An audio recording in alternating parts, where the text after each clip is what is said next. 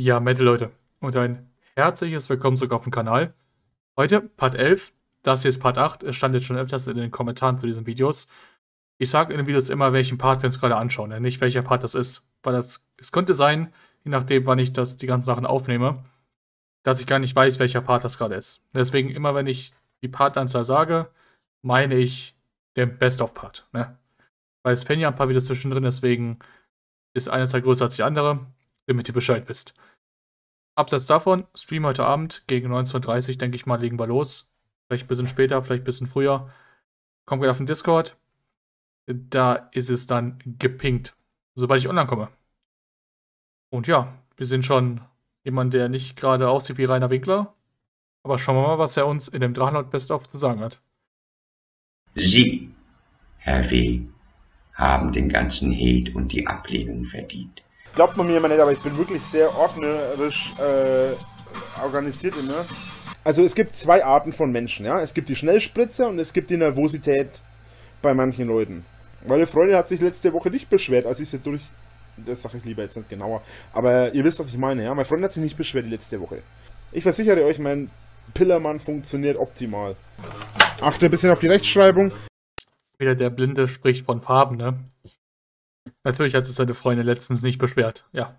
Wer nicht existiert, kann sich ja schlecht über irgendwas beschweren, oder? Eieiei. Ich als Legastheniker hasse es, wenn jemand Rechtschreibfehler macht und es auch noch aussieht, als wäre es offensichtlich. Das kann ich nicht ausstehen. Wenn es wirklich Gott und Jesus gibt, ist, sind sie beide riesige Arschlöcher. Gott ist Lästerer, mir scheißegal, Gott ist ein Wichser. Gott ist ein fieses Kind mit einem Brennglas auf einem Ameisenhaufen und ich bin die Ameise. Ich wiege seit drei oder vier Jahren. Ja, ja. Das gleiche und ich nehme das zu momentan. Also, auch wenn mir das immer gesagt wird. Ich glaube gar nicht, ich glaube nicht, ich glaube tatsächlich nicht, dass ich so ab, äh, dass ich so zunehmen kann. Weil dafür ernähre ich mich dann doch noch zu, naja, verhältnismäßig noch zu gesund. Also klar, ich ernähre mich ungesund. Jetzt habe ich eine äh, Nutella. Die ist aber fast leer. Die benutze ich normalerweise auch nicht. Also ich esse normalerweise keine Nutella, mag ich normalerweise nicht. Im Gegensatz. Mal wieder, ne? Er erzählt von irgendwas Ungesunden und sagt dann sofort, ja, eigentlich esse ich das gar nicht, aber das Ding ist schon wieder leer. Und da es bei ihm so griffbereit steht, glaube ich, er wird es löffeln. Und dass Rainer nicht gut zunehmen kann, sag das mal dem heutigen Rainer. Rainer von 2016 oder wer auch immer das war. Zu euch bin ich ein erwachsener Mann, der erwachsen lebt. Auch wenn ihr das vielleicht anders seht. Aber vermutlich hast du in deinem ganzen Leben noch nie gearbeitet und weißt nicht mal, wie ein Vertrag aussieht, ganz zu schweigen davon, dass du einen Vertrag überhaupt unterzeichnen könntest. Übrigens war das die letzte E-Mail von dir. Bist nämlich jetzt gesperrt, du Loser. Du bist noch nicht mal in der Lage, mir länger als einmal eine E-Mail zu schreiben. Warum? Wenn er selbst solche Sachen nehmen muss. Oh Gott, ist ein bisschen leiser hier. Wenn er selbst solche Sachen nehmen muss, oh, du kannst nicht mal mir zweimal eine E-Mail schreiben. Digga. Jetzt mal Butter bei der Fische. Was, was soll das? Warum genau streame ich denn nicht so viel, ja?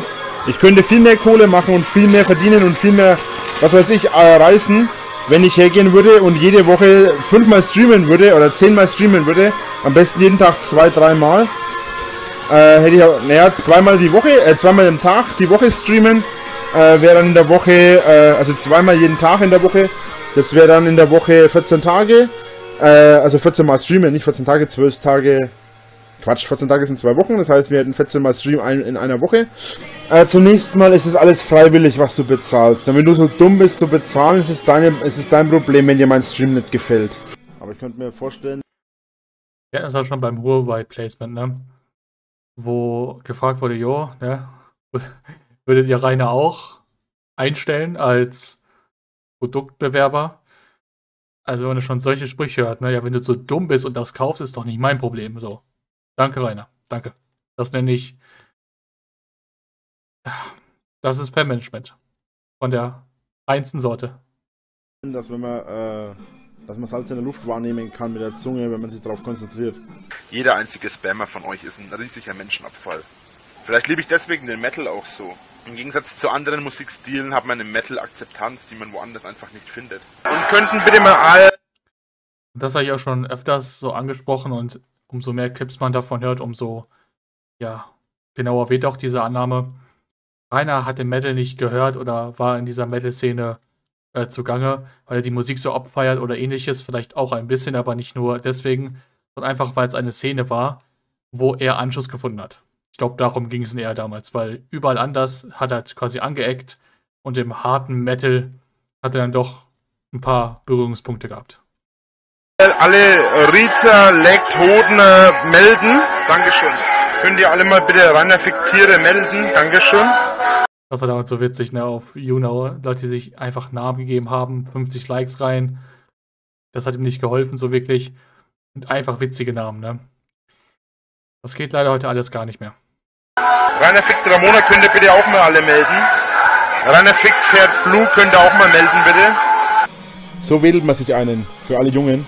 Ja, ich finde es nur schade, dass ich meinen anderen Ring nicht mehr habe. Aber der, den habe ich mir damals, als ich mir den gekauft habe, habe ich mir den geschworen, dass ich den der Person gebe, mit der ich meine erste Nacht verbringe. Und das habe ich auch gemacht. Und ich bin... Also, seine erste Nacht in sehr, sehr, sehr, sehr, sehr, sehr, sehr großen Anführungszeichen war mit der Prostituierten. Wo es halt nicht geklappt hat. Okay. Sie hat also den Ring bekommen, wo sie sich geschworen hat, den. Also das Ding ist einfach rein, er erzählt so viel auch vor M zu der Zeit. Er war nur am Labern, Monolog hier, Monolog da, weil er damals keiner wirklich unterbrechen konnte. Und er hat so viel zusammenhangslose Scheiße gelabert, ne?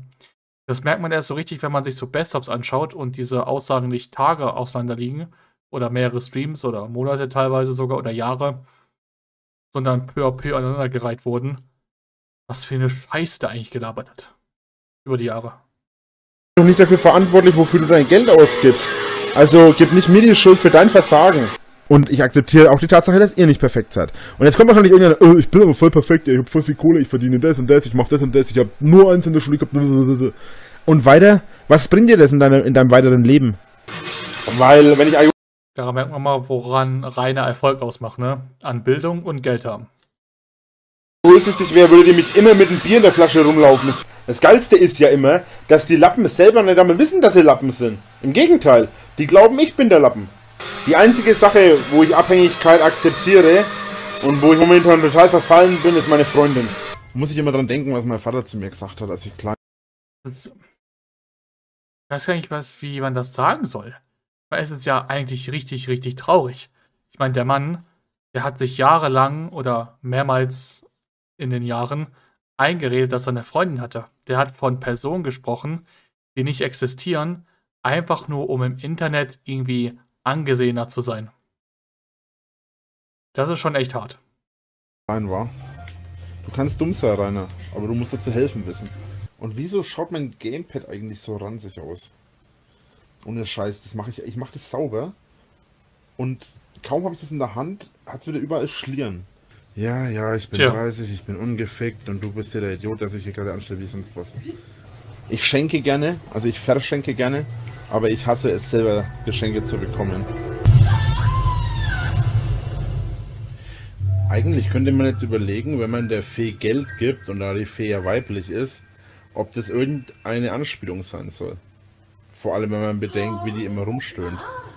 Du bist ein Phänomen in Auch wieder, ne? Kann man gut drauf schließen, auf was für ein sozialem Level Rainer ist.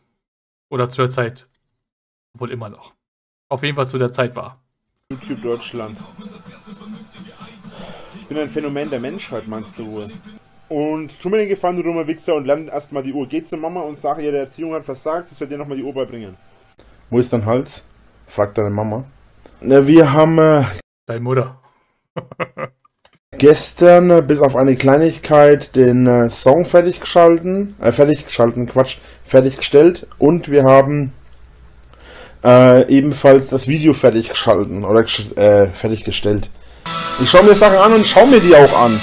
Außerdem, kleiner Tipp, wenn du schreibst, bitte alle deabonnieren, verleitest du mehr als 50% mindestens dazu, dass sie erst abonnieren.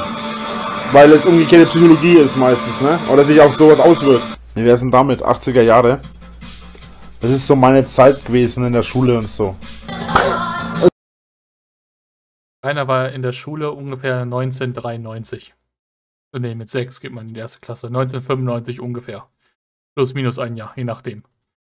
und erzählt, dass die 80er seine Kindheit waren. Aha.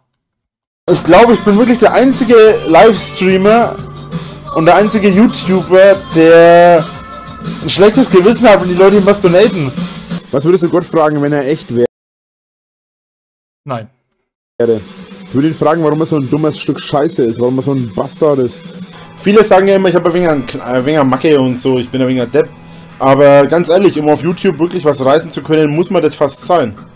Was hast du gearbeitet? Ach, ich habe schon fast alles gemacht. Von Fliesenlegen bis hin zum Maler, Heizungsbau und was weiß ich alles. Und es sind jetzt nur die Sachen vom Bau. Ich habe schon ganz andere Sachen auch gemacht. Es geht darum, dass ihr keine Ahnung habt, wie das ist, wenn man so in der Öffentlichkeit steht. Man kann nicht mal irgendwo einen Furz lassen, ohne dass es irgendeiner gleich wieder irgendwo postet. Wenn wir schon dabei sind, übrigens. Sehr charmant. Aber zur Sache nochmal mit seinen ganzen Jobs und so weiter. Ich glaube, Rainer spricht alles nur aus. Kann, es kann gut sein, dass er mal auf dem Bau gearbeitet hat. Das weiß ich jetzt, jetzt aus dem Kopf nicht. Aber wenn er sagt, oh, ich war Maler, ich war Heizungsbau, Dingsbums, dann wird er Hilfsarbeit gemacht haben. Er wird dem wirklichen Arbeiter, der das wirklich gelernt hat, den Hammer gehalten haben. Das hört sich falsch an, aber oder irgendwelche Bretter hochgebracht haben oder Siegel hoch, was weiß ich. Aber der wird niemals, da bin ich mir schon fast sicher, wirklich solche Arbeiten eigenständig vollbracht haben. Beruflich. Dein Wurm hängt. Im Moment steht er. Scheiß erzählen ist ja auch kein Beruf, aber du bist ja definitiv ein Doktor in dem Titel. Nächstes Jahr mal ein neues Bett. Oh. Freundin in 321. Das ist jetzt durchgevögelt mittlerweile. Äh, Kann man 10 lassen, als Win für mich. Vielleicht liegt es aber auch einfach daran, dass ich einfach ein Mensch bin mit Gehirn und daran denke, oder, oder erstmal denke, bevor ich handle. Wobei ich streiche das letzte. Ähm, bin einfach ein Mensch, äh, ich denke einfach über solche Sachen besser nach. Ja. Ähm, nur weil mir jetzt äh, RBS, selbst wenn ich wüsste, wo er wohnt, oder wenn ich weiß, wo er wohnt, oder da ich weiß, wo er wohnt, wie auch immer. Haut ab! Oder ihr seid tot! Das glaube ich nicht, Rainer! Ihr seid tot, das schwöre ich euch. Glaubst du nicht? Ich Nee. hab nicht den ersten abgemurkst, wenn ich dich gekillt habe. Herr Winkler! Er will gleich schreien, also macht euch drauf gefasst. Aber dieses Herr Winkler, das ist wirklich, also, dass das wirklich mein, der Besuch war, wann, 2018 oder so? Ich meine schon, so um den Dreh. Und es ist einfach immer noch wirklich in aller Hatermunde. Schwör lieber drauf und sei froh, wenn du mir nie über den Weg laufst, sonst mach ich Jagd auf dein Lockensäckchen. Du bist ein Loser, du wirst bleiben. Dankeschön. Danke auch. Ciao, Rainer. Jeder, der heute Ich würde diesen Besuch so gerne auf YouTube schauen, aber man wird sofort, wenn man einen Besuch hochlädt, so wird es weggemittelt. Das ist sehr, sehr schade. Also ganze Besuche, ne? Nicht nur so kleine Schnipsel. Ich weiß noch nicht, wonach man da suchen sollte und so weiter. Aber ich dieser Besuch von ihm, ne? Wie Rainer da nachts, mitten in der Nacht einfach rumbrüllt, obwohl die gar nicht wirklich geschrien haben. Das ist einfach, es ist perfekt gewesen, wirklich. Ein sehr, sehr schönes Besuchervideo. über mich lacht. Jeder, der heute Scheiße über mich macht, wegen mir macht, bei mir macht oder irgendwo anders über mich verbreitet, wird in der Hölle landen. Und der Teufel wird mein Gesicht tragen. Darüber solltet ihr mal nachdenken. Wollt ihr wirklich den Rest eurer Ewigkeit von mir gequält werden? Lieber nicht. Lieber nicht. Ich war vorher, kommt wirklich in die Hölle. Und da ist einfach wirklich das Gesicht von Rainer. Oder einfach Rainer selbst, der einfach zum, was weiß ich, äh, Folterer aufgestiegen ist oder so. Naja, das war Part 11. Also Part 8 ist das ja, glaube ich. Also wirklich, ne? Wenn man das so, es ist das Ding bei Rainer ist halt immer, er hat so viel ins Internet gekotzt. So viele Leaks gibt es. So zwischen diesen Aussagen liegen teilweise 10 Stunden Videomaterial. Aber wenn man die Sachen wirklich so peu à peu einfach in die Fresse bekommt, dann wirkt das wirklich echt verstörend. Naja, ich würde sagen, vielen Dank fürs Zuschauen. Danke an jegliche Art der Interaktion mit dem Video. Sehr, sehr cute. Denkt dran heute am Stream. Würde mich sehr freuen, wenn ihr dabei seid. Und dann sehen wir uns beim nächsten Video. Haut rein.